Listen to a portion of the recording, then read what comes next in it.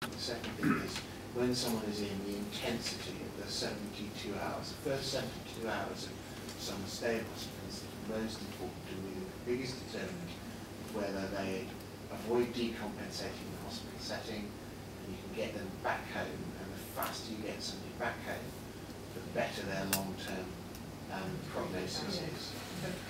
Um, and, and the intensity of input, both diagnostic, medical, therapy, social care massively improved. And then we, everyone, well, someone's admitted, everyone collective exhalation of breath and says, well, both carers, clinicians, everyone goes, well, at least they're in a place of safety, and that's not acceptable because the individual isn't benefiting from prolonged stays in. I think as well there's a, there's an issue about phraseology. This, this all comes from a, the, the phrase was actually exit block, and it came from a, a report from the um, Institute of Urgent Care Medicine.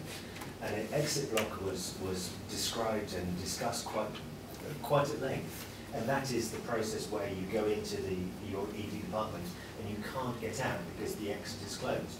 But exit block suddenly became bed block, which then got stuck in the papers. So it's, of course, bed block everyone realises, and so that's the bit that, that got, got uh, raised.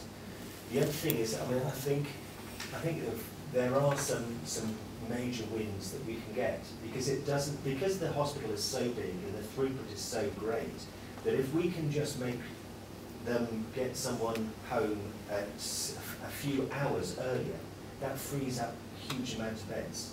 So if we can get everyone everyone out in the morning rather than the evening, all our problems will be solved. Doing that, that's a different thing altogether. Mm. Yes, I was I was reminded. Uh, I live in I live uh, where we're doing roadworks, and uh, there's a contraflow system, and I, I always worry, wonder why the traffic just stops. You know, for about 15 minutes, and there's no accident, it just stops.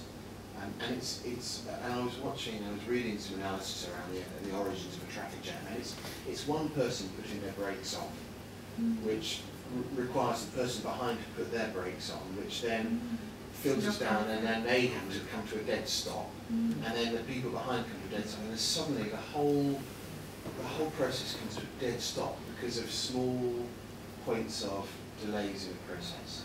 And, and, and that's, in part, as David said, if, if we don't have to have people touch their brakes when they're moving from the emergency department into their into a bed because the bed is being cleaned and prepared and ready for the the, the inevitable surgery. It always happens between two and five.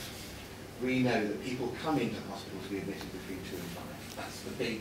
That's when most people arrive by ambulance to be admitted to hospital, and yet the beds typically aren't ready. People aren't being discharged until five, six, seven o'clock at night. Mm. So of course it's a bit like the brake being put on. They're sat in their bay waiting to go up to a bed, but the bed's not ready, so the people behind have to then touch their brakes and wait in the queue, and then mm. actually that within a second that means that they've got three or four ambulances queuing outside, waiting to unload their patients, not because there aren't sufficient, sufficient capacity, but because the contraflow model, one person puts their brakes and it all backs. I'm using some extraordinary analogies today. Sorry. They're good. Two.